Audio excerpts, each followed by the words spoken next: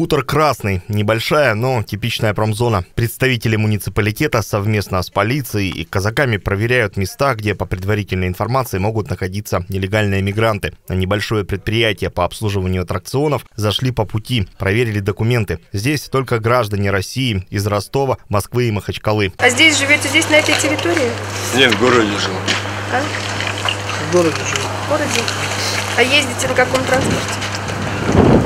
На сотке. По имеющимся данным, иностранцы работают рядом. Соседи говорят, что никакого отношения к ним не имеют. Это пекарня. Через окна видны лотки для хлеба и печь. В бетонном бункере рядом упаковка и остатки ингредиентов. В подвал ведет замаскированный проход.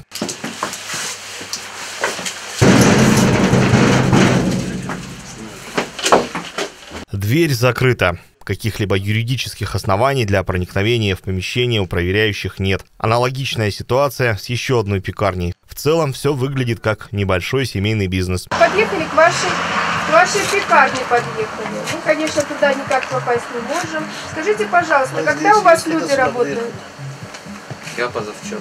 У гостя документы в порядке. Хозяин утверждает, что у рабочих тоже есть все необходимые основания жить и трудиться в городе-курорте. Сейчас на месте никого нет, потому что хлеб начинают печь с вечера, чтобы с утра он был свежим. Будьте добры, позовите, пожалуйста, вашего хозяина и свои я, документы. я хозяин и хозяйка, дочка моя.